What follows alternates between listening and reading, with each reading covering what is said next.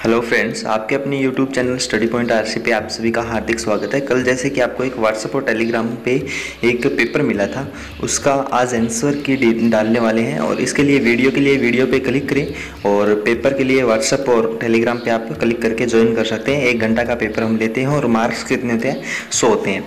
तो आज अब हम देखेंगे उस क्वेश्चन की आंसर की। तो आंसर देखते हैं। पहला क्वेश्चन है, पहले क्वेश्चन का आंसर क्या होगा? आप देखिए, यदि आपको टाइम कम मिलता है तो आप वीडियो को प्यूज करके वैसे भी आंसर दे सकते हैं। तो पहले का ऑप्शन रहा सही ऑप्शन सी और दूसरे का सही ऑप्शन है सी इंग्लिश और हिंदी में दोनों में दिया हुआ है। तो आज का अपना दूसरा क्वेश्चन है। दूसरा क्वेश्चन जो है उसका सही आंसर रहेगा ए ग्रामीण डाक जीवन बीमा ए सही है। और तीसरा जो क्वेश्चन है, उसका सही उत्तर आप सोचिए और फिर हम आपको बताते हैं कौन सा है। ऑप्शन बी है, वो तीसरे का सही है। क्वेश्चन नंबर चार, यदि आपको टाइम कम मिलता है तो एक बार फिर से बता दूँ कि आप उस वीडियो को प्यूज करें और फिर क्वेश्चन आंसर देखें और हमारा देखें। इसका सीधा पाँचवें का क्वेश्चन हैं